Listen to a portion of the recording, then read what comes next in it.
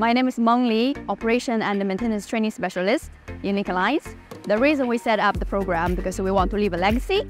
We want to hire people locally, bring them up, learn through the project, live with the project, and live in the industry. The key components of program are like six modules. We will give them this 360 degree support from uh, introduction to railway industrial, uh, on-site visit, technical training, and we have on-job training, and importantly, we have this mentorship.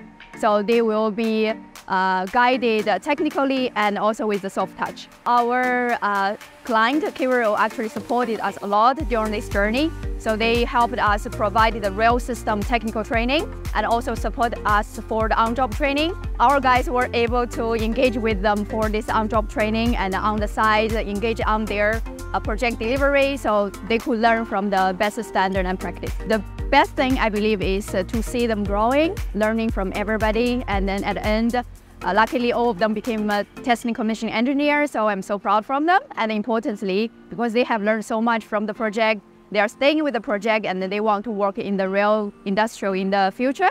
So that's the satisfaction part. I would like to appreciate all the support we had.